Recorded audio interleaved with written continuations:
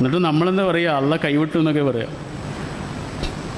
വഹി ഇറങ്ങാൻ കുറച്ച് വൈകിയപ്പോഴാണ് ശത്രുക്കൾ പറഞ്ഞത് മുഹമ്മദിനെ മുഹമ്മദിന്റെ റബ്ബ് കൈവിട്ടു. റസൂലുള്ളാക്കും വിഷമങ്ങളൊക്കെ ഉണ്ടായി. അപ്പോഴാണ് സൂറത്തുൽ ലുഹ ഇറങ്ങണത്. അല്ലേ? നമ്മളിങ്ങനെ വിഷമിക്കണ സമയത്ത് എന്തെങ്കിലുമൊക്കെ ടെൻഷൻ ഉണ്ടാകുന്ന സമയത്ത് ഇങ്ങനെ വായിച്ചു നോക്കണം സൂറത്തുൽ ലുഹ മരുഭൂമിയിലെ ഒറ്റമരം പോലെ തണൽ തരും ആ വൃക്ഷം. ഖുർആാനിൽ പെയ്യുന്നൊരു മഴയുടെ പേരാണ് സൂറത്തുൽ ലുഹ. അതിങ്ങനെ ഒറ്റയ്ക്കിരുന്നിട്ട് ഇങ്ങനെ വായിച്ചു നോക്കണത്? അല്ല പറയാണ് ഇങ്ങനെ നമ്മളോട് സംസാരിക്കുന്നത് പോലെയാണ്. എന്റെ പ്രയോഗങ്ങൾ പോലും. വല്ലുഹ. നമ്മളോട് ചോദിക്കുകയാണ് വെയിൽ കണ്ടിട്ടില്ലേ? വെയിൽ കണ്ടിട്ടുണ്ട്? അത് സത്യമല്ലേ? സത്യമാണ് എന്നാൽ അതുപോലെ സത്യമുള്ളൊരു കാര്യം പറഞ്ഞുതരാം. വല്ലയിലി ഇതാ സജ രാത്രി ഇങ്ങനെ ശാന്തമാകുന്നത് കണ്ടിട്ടില്ലേ? കണ്ടിട്ടുണ്ട്. അത് സത്യമല്ലേ? ആണ്. എന്നാൽ അതുപോലെ സത്യമുള്ളൊരു കാര്യം പറഞ്ഞു തരാം. നമ്മൾ കാണുന്ന സത്യങ്ങളെക്കുറിച്ച് പറഞ്ഞിട്ട് നമുക്ക് കാണാൻ കഴിയാത്ത കുറച്ച് സത്യങ്ങളെക്കുറിച്ച് പറഞ്ഞു തരാണ്.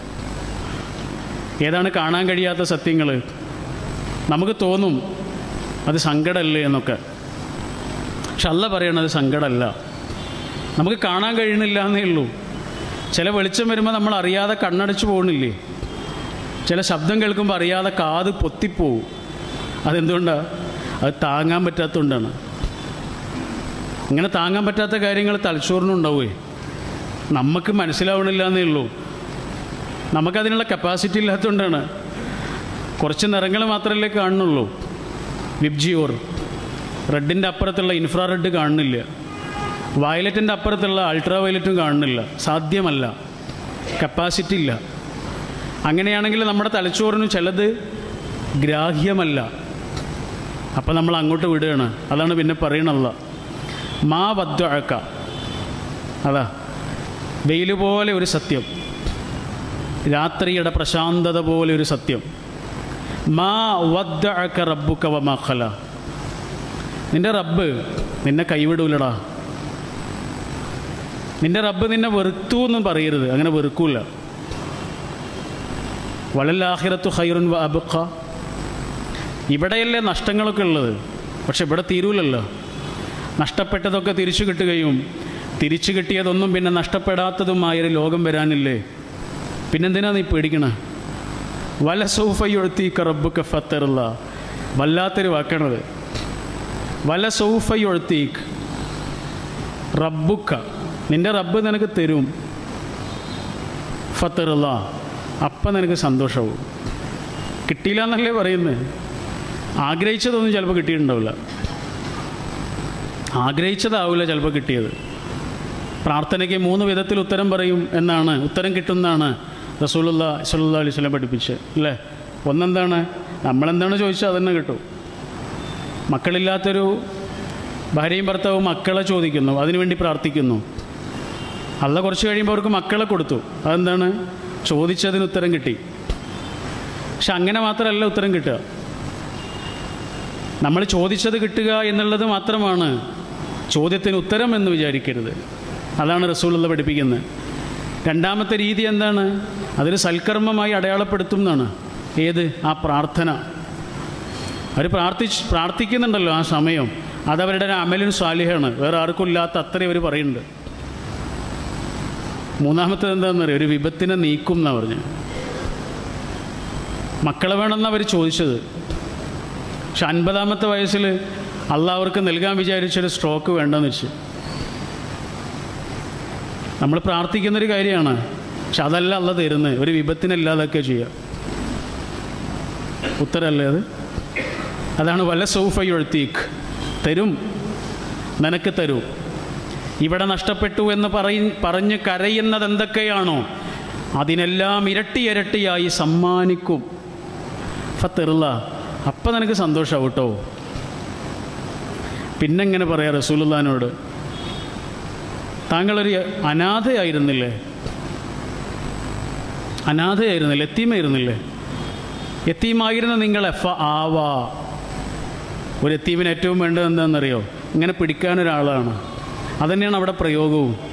എത്തിയുമായിരുന്ന നിങ്ങളെ ചേർത്ത് പിടിച്ചില്ലേ? എങ്ങനെയായിരുന്നു ആ ചേർത്ത് പിടിക്കൽ? അബ്ദുള്ള എന്ന മകൻ മരിച്ചിട്ടും അബ്ദുള്ള എന്ന ചെറുപ്പക്കാരനായ മകൻ മരിച്ചിട്ടും അബ്ദുൽ മുത്തലിബ് എന്ന വൃദ്ധനായ വാപ്പയെ ബാക്കി വെച്ചതാരാണ് ഇതാണ് ആ ചോദ്യം. എല്ലാ വാതിലും അടഞ്ഞപ്പോഴേ അബ്ദുൽ മുത്തലിബ് എന്ന ജനൽ തുറന്നു വെച്ചത് നിങ്ങൾ ആരുമില്ലാത്ത ഒരാളായിരുന്നില്ലേ? ആരെയൊക്കെയോ തന്നില്ലേ? ഒന്നുമില്ലാത്ത ആളായിരുന്നില്ലേ? എന്തൊക്കെയോ തന്നില്ലേ? ഇതൊക്കെ പറഞ്ഞതിന് ശേഷം അല്ല പറയാണ് നിങ്ങൾ കടന്നു പോകുന്നു ആ വഴികളൊക്കെ. ഇപ്പം പക്ഷെ ആ വഴികളിൽ ഇപ്പോഴും മനുഷ്യർ ബാക്കിയുണ്ട്. അനാഥകളുണ്ട്. അതുകൊണ്ട് ഫ അമ്മൽ യത്തീം. യത്തീമുകൾ ഇപ്പോഴും ബാക്കിയുണ്ട്.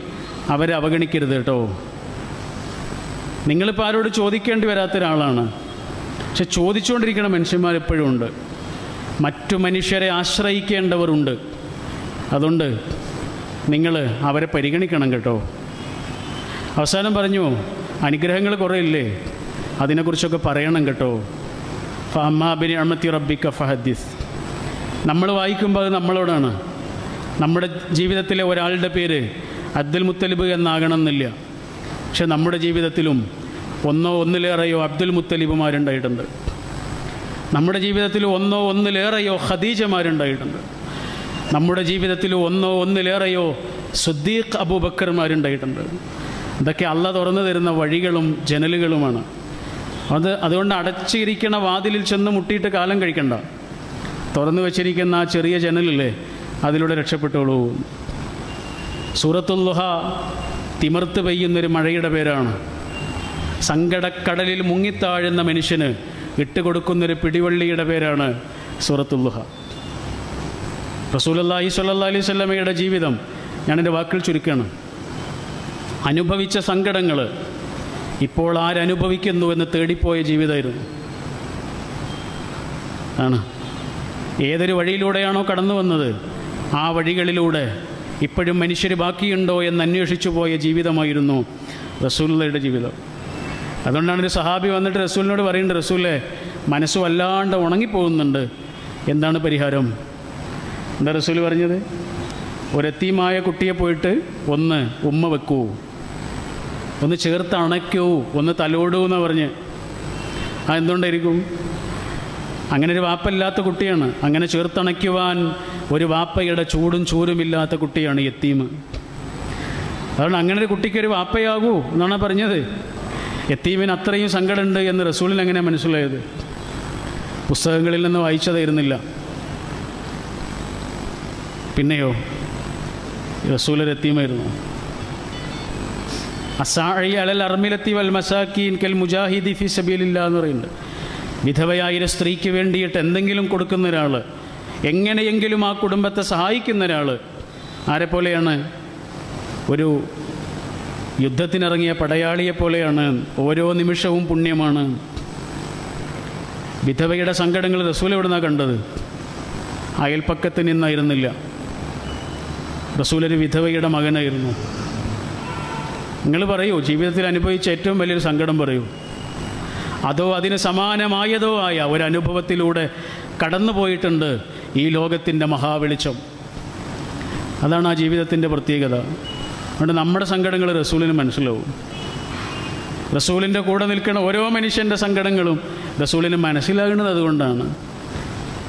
ജീവിച്ചിരിക്കെ പ്രിയപ്പെട്ടവൾ മരിച്ചു പോകേണ്ടി മരിച്ചു പോകുന്നത് കാണേണ്ടി വന്ന ആളാണോ നിങ്ങൾ? റസൂൽ അങ്ങനെയായിരുന്നു. സ്വന്തം നാട് ഒരു തെറ്റും ചെയ്യാത്തതിന്റെ പേരിൽ ഉപേക്ഷിക്കേണ്ടി വന്ന ആളായിരുന്നോ നിങ്ങൾ. റസൂൽ അങ്ങനെ ഒരാളായിരുന്നു. എത്രയോ കാലം പച്ച ഇലയും പച്ച വെള്ളവും മാത്രം കഴിച്ച് ജീവിക്കേണ്ടി വന്ന ആളായിരുന്നോ നിങ്ങൾ. റസൂലിന് അങ്ങനെ ഉപരോധം അനുഭവിക്കേണ്ടി വന്നിട്ടുണ്ട്. കാത്തിരുന്ന ഒരു ആൺകുഞ്ഞ് സ്വന്തം കൈകളിൽ പിടഞ്ഞു മരിക്കുന്നത് കണ്ട ഒരു പിതാവാണോ നിങ്ങൾ? റസൂൽ അങ്ങനെ ഒരു പിതാവായിരുന്നു. സ്വന്തം കുഞ്ഞും പേരക്കുഞ്ഞും കൈകളിൽ മരിക്കണത് കാണേണ്ടി വന്ന ഒരാളായിരുന്നു. സങ്കടങ്ങൾ പറയൂ. അതോ അതിന് സമാനമായതോ ആയ അനുഭവങ്ങളിലൂടെ കടന്നുപോയിട്ടുണ്ട്. എന്നിട്ടും ആ പുഞ്ചിരി മാഞ്ഞു പോയിരുന്നില്ല ഇതാണ്. നമ്മൾ കടന്നു വന്ന വഴികളിൽ ബാക്കിയായ മനുഷ്യരെ തേടിപ്പോവുക അതാണ് പരിഹാരം. ഇറാ ഗുഹയിൽ നിന്ന് ജിബ്രീൽ അലൈഹി സ്വലാമിനെ കണ്ട് പേടിച്ചിട്ട് ഭയന്ന് പുതിയൊരു അനുഭവത്തിന്റെ ഭയത്തിൽ ഖദീജ ബീവിയുടെ അടുത്തേക്ക് ഓടി വരുന്നുണ്ടല്ലോ റസൂൽ സംഗതിയൊക്കെ പറഞ്ഞു കാര്യമൊക്കെ പറഞ്ഞു. അപ്പോൾ ഖദീജ ബീവി ഇങ്ങനെ ചേർത്ത് പിടിച്ചിട്ട് പറയുന്ന ഒരു കാര്യമുണ്ട്. എന്താ പറയുന്നത്? റസ് റസൂലായിട്ടില്ല. പ്രിയപ്പെട്ടവനാണ്. എന്റെ പ്രിയപ്പെട്ടവനെ അല്ല നിങ്ങളെ വിഷമിപ്പിക്കൂല. അതിന്റെ കാരണം എന്താണ്? അത്രയും വലിയ നൂറുമല എന്ന കഠിനമായ മല താണ്ടിയിട്ട് ആ ഹിറാ ഗുഹയുടെ ഇരുളിൽ അള്ളാഹുവിന് വേണ്ടി തപസ്സു ചെയ്ത ആളല്ലേ നിങ്ങൾ എന്നല്ല ചോദ്യം. അത്രമേൽ കഠിനമായ ഗുഹയുടെ അകത്തിരുന്നിട്ട് അള്ളാഹുവിന് വേണ്ടി പ്രാർത്ഥിച്ചുകൊണ്ടിരുന്ന ആളല്ലേ നിങ്ങളെ അള്ളാഹു വിഷമിപ്പിക്കോ എന്നായിരുന്നില്ലേ ചോദിക്കേണ്ടത്? പക്ഷെ അതല്ലല്ലോ ചോദിച്ചത്. പിന്നെന്താണ് പറഞ്ഞത്? കുഞ്ഞു കുഞ്ഞു കാര്യങ്ങളാണ് പറഞ്ഞ് കഠിനമായ കാര്യങ്ങളൊന്നും പറഞ്ഞില്ല. നിങ്ങൾ പാവപ്പെട്ടവന്റെ കൂട്ടുകാരനല്ലേ? നിങ്ങൾ സാധുവായ മനുഷ്യന് അന്നം കൊടുക്കുന്ന ആളല്ലേ? നിങ്ങൾ ബന്ധങ്ങളെ ചേർത്ത് നിർത്തുന്ന ആളല്ലേ? നിങ്ങൾ കുടുംബ ബന്ധം സംരക്ഷിക്കുന്ന ആളല്ലേ? ഇങ്ങനെയാണ് പറഞ്ഞ് നല്ലോണം ആലോചിക്കേണ്ട വിഷയമുണ്ട് അതിന്റെ അകത്ത്. നിസ്കരിക്കലും നോമ്പൊലിക്കലൊക്കെ വലിയ കാര്യം തന്നെയല്ലേ? ആണ്. പക്ഷെ അതൊക്കെ ചെറിയ കുട്ടികൾ പോലും ചെയ്യുന്നതാണ്. എത്ര നോമ്പൊലിക്കണ്ടെന്ന് പറഞ്ഞാലും കഠിനമായ നോമ്പ് നോക്കുന്ന കുട്ടികളില്ല നമ്മുടെ വീട്ടിൽ അപ്പോൾ അതൊക്കെ എത്ര വലിയ കാര്യമാണോ? ചെറിയ കുട്ടികൾക്ക് പോലും ചെയ്യാൻ കഴിയില്ല. പിന്നെ എന്റെയും നിങ്ങളുടെയും ജീവിതത്തെ പ്രത്യേകതയുള്ളതാക്കി മാറ്റുന്നത് എന്താണ്? ആ ചോദ്യത്തിന്റെ ഉത്തരമുണ്ട് അതിനകത്ത് നിങ്ങൾ പ്രസംഗിക്കാൻ വിളിച്ചാൽ ഞാൻ വന്നിട്ട് പ്രസംഗിക്കും. ഷിഹാബായി വന്നിട്ട് പ്രസംഗിക്കും. പ്രസംഗിക്കാൻ കഴിയുന്നവരൊക്കെ വന്ന് പ്രസംഗിക്കും. നിങ്ങൾ ഹുത്തുവ പറയാൻ വിളിച്ചാലേ നമ്മൾ വന്നിട്ട് ഹുത്തുവ പറയും. ഇതൊക്കെ നിങ്ങൾ വിളിക്കുന്നതുകൊണ്ട് ചെയ്യുന്നതാണ്.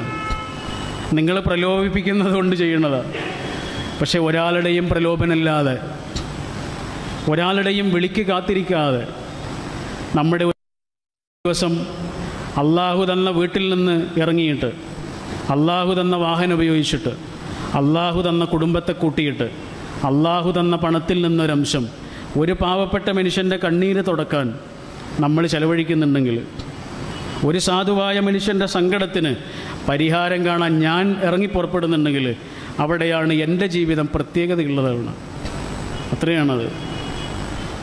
നമ്മൾ കടന്നു വന്ന വഴികളിൽ മനുഷ്യരിപ്പോഴും ഉണ്ട്. ആന്റണി ഡിമെല്ലോ എന്ന ഒരു നോവലിസ്റ്റ് ഉണ്ട് അദ്ദേഹത്തിന്റെ ചെറിയൊരു പുസ്തകമുണ്ട്. രണ്ട് വോള്യങ്ങളുള്ള prayer of the prayer of the frog എന്ന് പറഞ്ഞൊരു പുസ്തകമാണ്.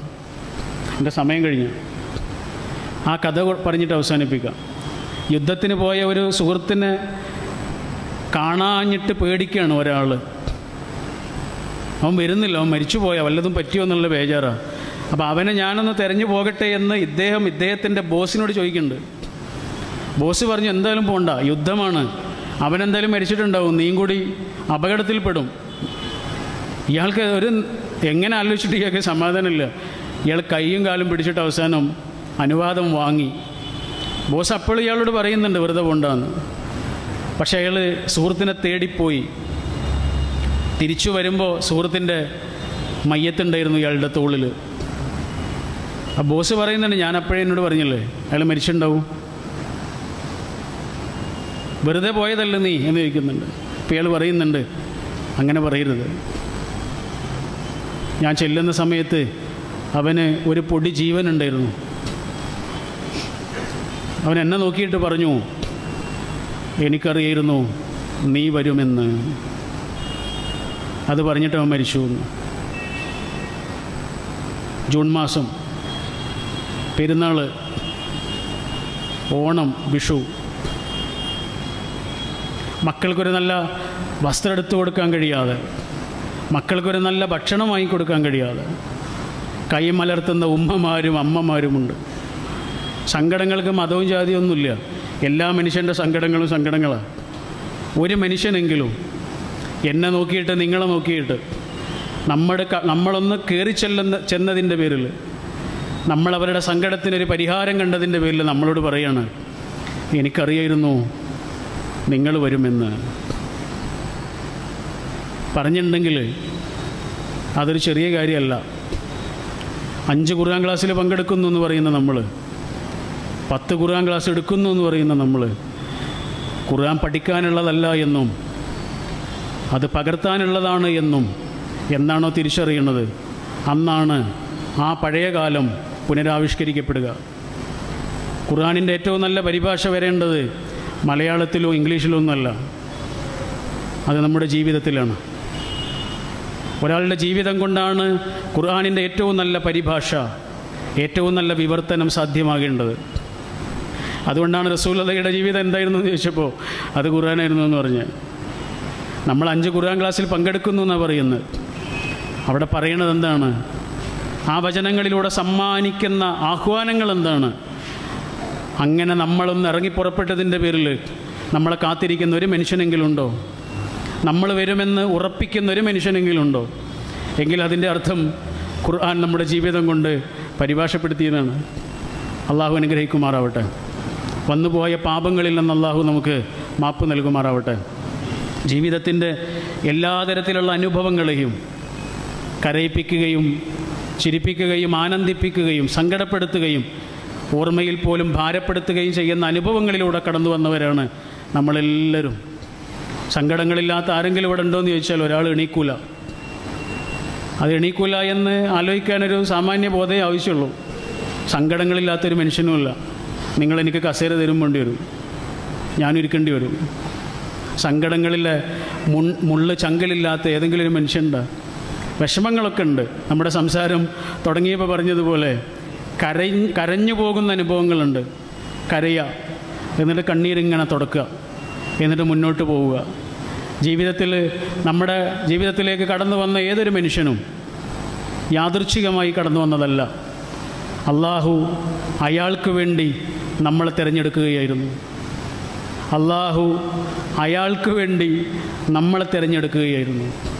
അങ്ങനെ ജീവിതത്തിലെ സകല അനുഭവങ്ങളെയും ആ അർത്ഥത്തിൽ കാണുകയും പുഞ്ചിരിയോടുകൂടി പ്രസന്നതമായാത്ത മുഖത്തോടുകൂടി ജീവിതത്തിൽ എന്ത് സംഭവിക്കുമ്പോഴും അതിനെ സമഭാവത്തോടു കൂടി കാണുന്ന ഉന്നതമായ ഈമാനിന്റെ ചങ്കുറപ്പ് സൂക്ഷിക്കുന്ന സത്യവിശ്വാസികളായി മാറാൻ അള്ളാഹു നമ്മെ അനുഗ്രഹിക്കുമാറാവട്ടെ. പ്രബനാത്തിൻ അഫിദ്ദുന്യ ഹസന വഫില്ലാഹിറത്തി ഹസനത്തിൻ വക്കിനാഥ ബന്നാർ ബാക്കിയുള്ള അവസാനിപ്പിക്കുമ്പോൾ ഒരു ചെറിയ ആവശ്യങ്ങളോട് പറയാനുണ്ട്. ഒരു പാവപ്പെട്ട ഉമ്മയും ഉപ്പയും താമസിക്കുന്നൊരു ഒരു വീടുണ്ട്. വീടല്ല ഇപ്പോൾ അവർ വാടക കോട്ടേഴ്സിലാണ് താമസിക്കുന്നത്. രണ്ട് പെൺകുട്ടികളായിരുന്നു. അവർ കല്യാണം കഴിഞ്ഞതോടുകൂടി വീട് വിൽക്കേണ്ടി വന്നാണ്. അപ്പോൾ വാടകയ്ക്ക് താമസിക്കുന്നത് കൊണ്ട് വാടക കൊടുക്കാൻ വേണ്ടി പല ദിവസങ്ങളും ഇവർ ഭക്ഷണം പോലും കഴിക്കണില്ല ഇത് നമ്മൾ വളരെ അടുത്ത കാലത്താണ് അറിഞ്ഞത്. അങ്ങനെ അവർക്ക് വേണ്ടി ഒരു വീടിന്റെ ഒരുക്കത്തിലാണ് നമ്മുടെ തൊടുവ് തന്നെയാണ് ചെയ്യുന്നത്. അപ്പോൾ നിങ്ങളെ കൊണ്ട് ഏതെങ്കിലും വിധത്തിൽ സഹായിക്കാൻ പറ്റുമെങ്കിൽ നിങ്ങളുടെ സഹായം ആവശ്യമുണ്ട്.